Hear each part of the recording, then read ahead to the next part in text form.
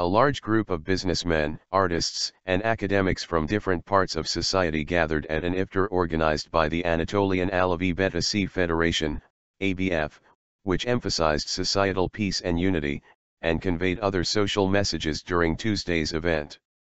Talking during the iftar, ABF chairman Cengiz Hortoğlu used metaphorical language to express the importance of social harmony. In order to meet at the palace courts of unity, it is necessary to pass through the hallways of the heart, he said. We are trying to create such connections with love and dialogue.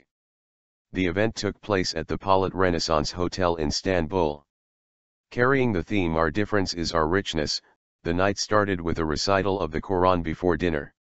During the event, famous Turkish folk music singers Nuray Hafiftaş and Erol Parlak also performed live music while emphasizing unity, cooperation, and brotherhood in his after-dinner speech, Hortoğlu said, our country badly needed such a scene.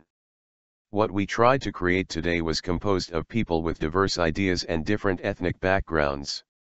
These people met on the basis of equal citizenship and equal rights while retaining their differences and not making them problems, but rather focusing on common values.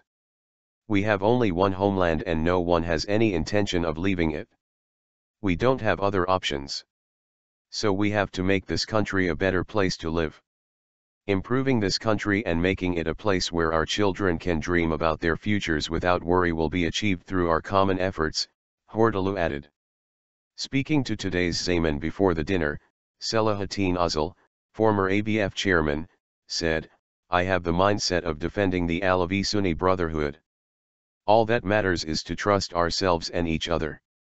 Similarly, a prominent businessman, Zeynel Abidin Erdem, underlined the objectives of Tuesday's event as normalizing the country's polarized society and strengthening social unity and solidarity.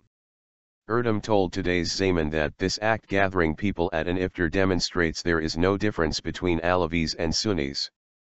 One of Turkey's important writers and poets, Yavuz Bülent Bakiler also talked to today's Zaman about the iftar event, this program is very important. We were even late to bring these differences closer together. Bakiler also mentioned how some people try to attack each other for their differences and explained that the ignorance lies behind all these problems. However, the first command of our book the Quran is to read.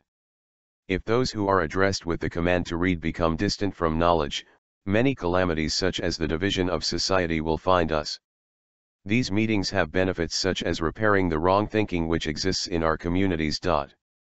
Turkish folk music singer Parlak, who is also a professor, told today's Zaman, in Anatolia, we have always known how to live together with our different faiths and identities. Unfortunately, we recently witnessed segregation in our society. Perhaps this is a global trend. Maybe by segregating and weakening societies the aim is to avoid trouble while ruling them. Parlak's colleague Hafiftaş, who also signs folk music, said, We the attendees have the passion of unity, solidarity, and brotherhood. These are the ideal features that a society should have. Just like at last year's event, we have people from all segments of society.